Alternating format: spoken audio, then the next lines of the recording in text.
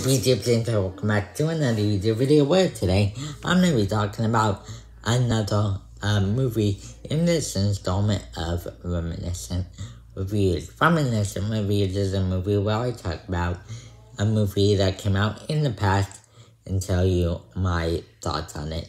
But before we begin, don't forget to like and subscribe, hit that bell notification so you'll be notified every time I upload a new video. Um, but yes, guys, let's start talking about this movie. As you can see from the title, this movie is called Extremely Loud and Incredibly Close. This movie stars, um, uh, the actors Tom Hanks, uh, Claire Foy's in it, um, oh, sorry, not Claire Foy, Sandra Bullock, I don't know why I said Claire Foy, she would have done very well, though. I think. But yes, no, Claire Foy does very good, uh, as we'll get into uh, later in this review. So, the main plot synopsis for um, uh, uh, Incredibly Close and Extremely Loud and Incredibly Close um, is this uh, son had a very close relationship with his father, played by Tom Hanks. Um, and uh, 9-11 comes, and his dad worked in the building where the one of the Twin Towers, and he died in the Twin Towers.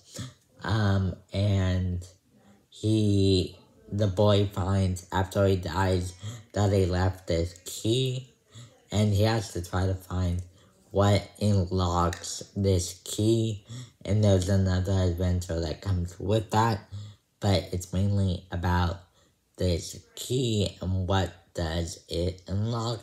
It definitely is a um um a mystery story which i was very interested how they would um, go about this. Um, but I gotta say, they did it very well. Let's talk about the acting first of all. Um, Tom Hanks plays the dad in this movie. Um, he's good. And if you don't know me, you know that Tom Hanks is my favorite actor of all time. I think he does a wonderful job in all of his movies. The only reason I say good in this movie is since he plays the dad and he does, once he passed away in this movie. Um, in this like two hour runtime, uh, there's only so much like backstory, um, scenes that you can do, uh, with him. So yes, he doesn't have that much to do in the movie, but when he's in it, he does perfectly fine. He's good, but he's definitely not the standout. Um, he's, yeah, but one, uh, one that I, uh, was kind of skeptical about going in. I thought this movie looked very good from the trailer, but I could see that the, uh, boy playing the main character. Um, I forgot that actor's name, but um, he, I could uh, imagine him being like kind of flat in his performance, and I didn't really see what they were going for until I saw the movie. Apparently, this was his first movie, uh, movie role, um, and pretty much his only acting role uh, ever since. Um, but apparently he was found on Jeopardy and uh, they liked him so much in Jeopardy that um, they put him in this movie. Um, so um, I feel like they did uh, that because his character is very much a know-it-all pretty much. He's a very small kid um, he, uh, definitely has this, um, classic kid in these mystery movies that you've seen a lot before we've seen these movies.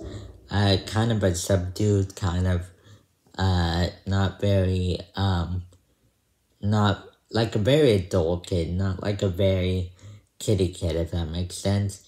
And, um, that, uh, kind of what I liked about this movie. This movie, although I've seen kind of this, uh, character before, I feel like it worked for the humor in this movie. Um, the humor is very well written in this movie.